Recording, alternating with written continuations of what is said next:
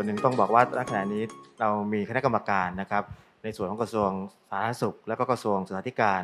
รวมทั้งภาคีเครือข่ายเองนะครับราชวิไลโรคติดเชื้อในเด็กนะครับทั้งยูนิเซฟ WHO เราทำงานร่วมกันเป็นกลุ่มคณะ แล้วก็มีความเห็นท้องต้องกันว่า สิ่งที่กระทรวงศึกษาธิการต้องการเปิดเรียน นะครับเพื่อที่จะให้เด็กนักเรียนเราเนี่ยสามารถไปเรียนได้อย่างมีคุณภาพนะครับที่ดีได้ด้วยนะครับก็กลายเป็นว่าต้องมีมาตรการออกมา ในช่วงแรกๆเนี่ยที่แต่เห็นว่าตั้งแต่เดือนที่ผ่านมานะครับเรามีการระบาดอยู่ในช่วงของช่วงที่ต้องบอกว่าเป็นขาขึ้นนะครับเต็มที่นะครับซึ่งระหว่างนั้นน่ะก็ต้องพบบอกว่ามันมีส่วนหนึ่งที่ทำให้ประชาชนเองกังวลใจว่าเอ๊ะถ้าเกิดเปิดเรียนเนี่ย จะทำให้ลูกเขาติดเชื้อหรือเปล่านะครับแล้วก็เรียนแล้วเนี่ยจะมีประสิทธิภาพมากหรือเปล่า ก็เลยเป็นมาตรการขึ้นมาว่าในช่วงเฟสแรกนะครับเรามีมาตรการออกมาที่เรียกว่า Sandbox Safety Zone นะครับอินสคูลซึ่งรัฐมนตรีว่าการกระทรวงศึกษาธิการเอง แล้วก็ผู้บริหารของกระทรวงสาธารณสุขเองเนี่ยเขาเห็นพ้องต้องกันให้มีโปรแกรมในเฟสแรกออกมาครับครับซึ่งในเฟสแรกออกมาเนี่ยนะครับช่วงแรกก็ประมาณ 40-50 โรงนะครับที่เข้าสู่ ขบวนการในการทำตามมาตรการ ซึ่งก็ทำได้ผลดีนะครับ ซึ่งตอนนี้ณขณะนี้เนี่ยก็เป็นขั้นตอนที่จะต้อง move ถัดไปในช่วงของเฟสสองนะครับซึ่งจะต้องให้ทันในช่วงของการเปิดเรียนในช่วงของ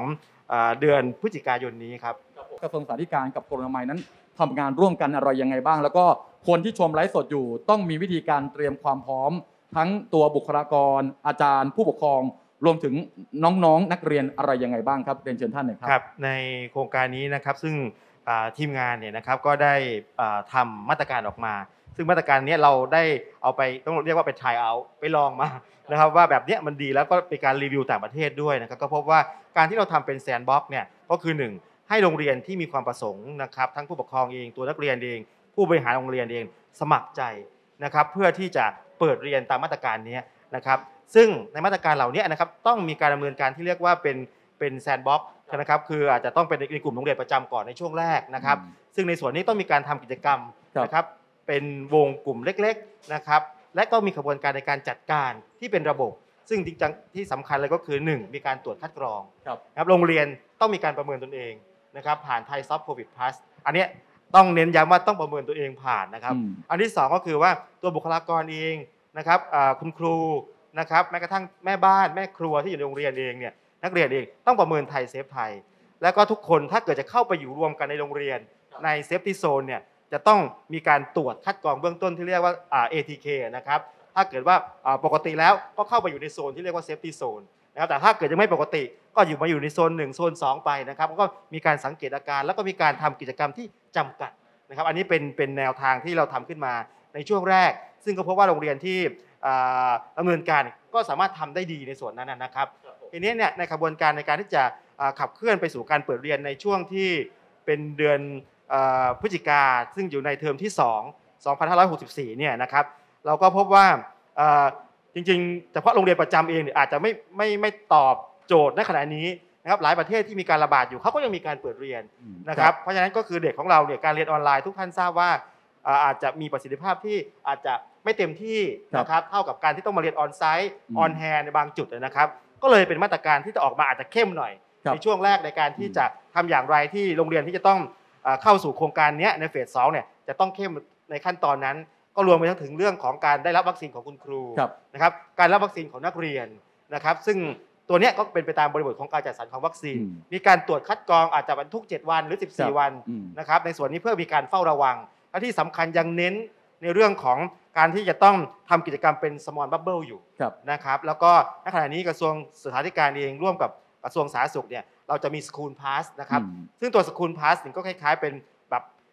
เป็น certificate ที่ว่าใครก็ตามที่ผ่านเข้ามาโรงเรียนเนี่ยจะต้องใช้ตัว school pass นี้นะครับก็จะประกอบไปด้วยเรื่องของการคัดกรองตัวเองนะครับว่ามีความเสี่ยงต่ำคือใช้ไทยเซฟไทย อันที่2นะครับก็อาจจะมีการตรวจ ATK ภายอย่างน้อยภายใน 7 วันนะครับแล้วก็อีกอันนึงก็คือการรับวัคซีนนะครับก็จะมีอยู่ 3 ส่วนด้วยกัน เพราะฉะนั้นถ้าเกิดมาปุ๊บเนี่ยมันจะเป็นแอปพลิเคชันนะครับก็จะให้ทุกคนสามารถที่จะสแกนเข้ามาโรงเรียนได้ ส่วนในพื้นที่ที่ห่างไกลที่ไม่สามารถใช้แอปได้ก็มี paper อืมนะครับที่จะให้เขาสามารถครับเช็คลิสต์ในส่วนนั้นได้อืมก่อนที่เข้ามาโรงเรียนครับเพื่อที่จะทำให้เกิดความมั่นใจมากยิ่งขึ้นครับอันนี้ก็เป็น concept อ่า รวมๆนะครับที่จะการเตรียมความพร้อมในการที่ต้องเปิดเรียนในอ่าเทอมที่สองครับ ถ้าถือว่าเด็กไปโรงเรียนละ ฉีดครบสองเข็มละ แต่ปรากฏว่ายังเปิดหน้ากากพูดคุยกันหยอกล้อกันเหมือนเดิม เล่นกันเหมือนเดิมกินน้ำร่วมกันกินอาหารร่วมกันอีก ต้องมีมาตรการอะไรยังไงบ้างครับ ในฐานะที่รับผิดชอบกำกับเรื่องนี้ครับถ้าโดยเฉพาะครับเรียนเชิญเราครับไปดูในมาตรการที่เราเขียนออกมานะครับครับจะพบว่าจริงๆแล้วเราจะเข้มมากโดยเฉพาะในพื้นที่สีแดงเข้มครับแล้วก็สีแดงอืม ที่ท่านปลัดกระทรวงได้พูดถึงไปเมื่ครัอบกี้นะครับ อันเนี้ยเรื่องของการจัดห้องนะครับนะถ้าเป็นห้องขนาดปกติเนี่ยนะครับครับก็ไม่ควรเกิน 25คอืนมครับเราดูแล้วว่ามันต้องมีการจัดพื้นที่ได้นะคครัรับบแล้วก็มีการระบายอากาศที่ดีอืมที่สำคัญเลยที่เราเจอก็คือที่ติดเชื้อเนี่ยนะครับก็คือการที่อ่าไม่ใส่หน้ากากนะครับ โดยเฉพาะอืมเวลาพูดคุยกันหรืออยู่ใกล้กันครับนะครับ อันเนี้ยเราเจอค่อนข้างเยอะอืมนะครับ แล้วก็อีกส่วนหนึ่งก็คือเรื่องของหลังจากที่มาโรงเรียนแล้วกลับบ้านไปก็จะชอบไป ออกันอยู่หน้าโรงเรียนไปสถานที่อื่นที่ที่ในโรงเรียนเนี่ยทำมาตรการได้อืมพอออกไปข้างนอกแล้วครับไม่ได้ทำตามมาตรการ เพอืราะมฉะนั้นเนี่ยในส่วนนี้เราก็เลยอ่ากำหนดลงไปในพื้นที่สีแดงเข้มนะครับแล้วก็สีแดงในเฟสสองเนี่ยในเทอมสองว่าถ้าโรงเรียนจะเปิดเนี่ยรอบนอกโรงเรียนนะครับอย่างน้อยประมาณ10 เมตรเนี่ยนะครับที่อยู่ในโรงเรียนเนี่ยห้างร้านค้าต่างๆเนี่ยต้องปฏิบัติตามกฎของอืมโควิดฟรีโซนของครับกระทรวงสาธารณสุขอืมซึ่งจะมีมาตรการไปรองรับ เพื่อจะสอดคล้องกับตัวนี้นะครับครับอันนี้ก็จะเป็นสิ่งหนึ่งที่เราอยากจะอ่าเน้นย้ำในส่วนนั้น แต่อีกส่วนหนึ่งก็คือว่าเมื่อกี้เพิ่มเติมอย่างที่ท่านประหลัดพูดนะครับว่าอ่าจริง ๆ แล้วตอนเนี้ยถือวัคซีนเข้ามาอายุ 12 ปีขึ้นไปอืมถึงต่ำกว่านั้นตอนนี้ยังไม่มีข้อมูลที่จะให้เรื่องวัคซีน แต่ว่าไม่ใช่ว่าเราจะหยุดการเรียนการสอนครับดังนั้นเด็กในกลุ่มเหล่านี้ก็ยังมีความจำเป็นโดยเฉพาะในกลุ่มของเด็กเล็กนะครับเราจะพบว่าในกลุ่มเหล่านี้อาจจะมีมาตรการที่แตกต่างไปกับผู้ใหญ่อืมนิดนึงเพราะว่าครับในกลุ่มของเด็กเนี่ยอาจจะไปลดการแบบเอ่อ ใกล้ชิดกันก็อาจจะลำบากใส่หน้ากากตลอดเวลาอาจจะลำบากแต่เราก็จะครับมีขบวนการที่เข้มเรื่องมาตรการทำ small bubble and seal อืมก็คือทำในกลุ่มเล็กๆนะครับทำกิจกรรมเรียนการสอนแบบกลุ่มเล็กๆนะครับแล้วก็อาจจะเน้นนะครับไปอยู่ในพื้นที่ที่สามารถที่จะให้เด็กสามารถที่จะเรียนรู้ร่วมกันได้อืมอันนี้ก็เป็นมาตรการหนึ่งที่ที่เราคิดว่าน่าจะสามารถที่จะจัดการได้ในส่วนนั้น เด็กส่วนใหญ่แล้วติดเชื้อในในบ้านผู้ปกครองเป็นหลักอืมแล้วก็อาการส่วนใหญ่ก็ตอนนี้ ที่เราเก็บข้อมูลมาก็เป็นอาการเล็กน้อย แล้วก็อาการส่วนใหญ่รุนแรงเนี่ยจะเจอน้อยมาครักบๆนะครับ อันนี้ก็คิดว่าในส่วนหนึ่งคือถ้าเราดูแล้วเนี่ยมันสามารถที่จะเดินไปได้ในเรื่องของการจัดการเรียนการสอนครับในกลุ่มของเด็กต่ำอายุ 12 ปีครับเขาเขาถามอีกสักหนึ่งคำถามครับคำถามถามเข้ามาเยอะ แล้วพื้นที่ในการให้บริการนะครับบางคนบอกว่า แล้วถ้าสถานศึกษาอยู่ในพื้นที่สีแดงปี๊ดเลยครับยังเปิดอยู่หรือเปล่า หรือเราเลือกโซนอะไรยังไงบ้างครับครับเรียตอนชิญนี้ครับเนี่ย ถ้าเกิดกรณีที่เป็นพื้นที่สีแดงเข้ม โดยเฉพาะครับอ่ากรุงเทพและปริมณฑลนะครับอืมถ้าตามประกาศขอครังบอ่าสบคสบคออกมาฉบับที่ 32 จะครับพบว่าให้ขึ้นอยู่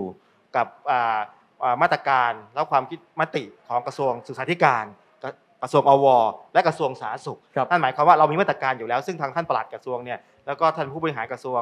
ก็ได้ทำเป็นมาตรการตรงนี้ออกมาอยู่แล้วนะครับว่าถ้าท่านทำตามมาตรการนี้ นะครับไม่ว่าจะเป็นในส่วนของกรุงเทพมหานคร ปริมณฑลอืมนะครับถ้าท่านผ่าน